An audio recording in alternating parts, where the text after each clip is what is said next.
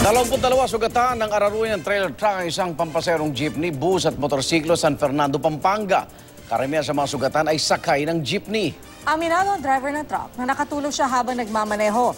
Hawak na siya ng mga polis at nahaharap sa mga kaukulang reklamo.